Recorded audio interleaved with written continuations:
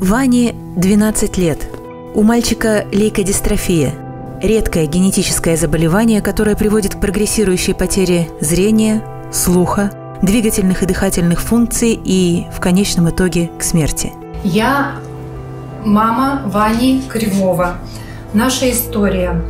В декабре 2021 года Ваня начал жаловаться на головные боли. Мы сделали ему МРТ, и там в описании было сказано, что у нас лейкодистрофия. Я поехала с ним в Читу. Нас положили в краевую детскую клиническую больницу. В течение двух недель нам пришел вызов с Москвы, и мы полетели в Москву. В марте 22 года нас госпитализировали и поставили нам диагноз X сцепленная лейкодистрофия. Раз в квартал в нашем городе Краснокаменске мы делали МРТ и посылали в Москву. Это было на протяжении года. Последняя наша госпитализация была в декабре 2023 года. МРТ было на уровне 2022 года. Но я такой человек, что мне нужно мнение нескольких врачей. Я собрала деньги и отправила Ване на МРТ в Израиль.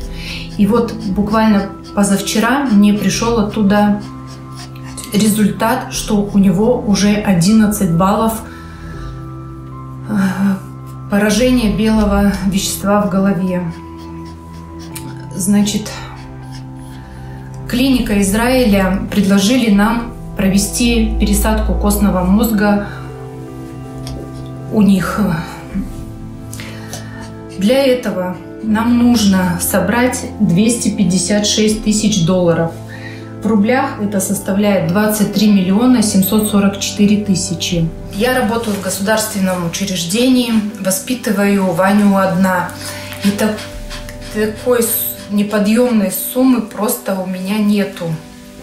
Я прошу всех неравнодушных людей помочь в нашей беде. В связи с тем, что у нас уже 11 баллов, врач клиники Израиля дали нам очень маленький срок. 3-4 недели, чтобы мы собрали деньги и приехали в Израиль. Я благодарен всем, кто поможет мне собрать э, денежные средства на мою операцию. Помочь Ивану вы можете на сайте фонда «Спасательный круг». Спасательный круг,